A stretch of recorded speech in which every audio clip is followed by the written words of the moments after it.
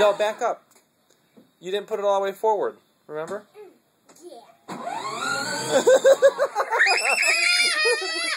Yeah.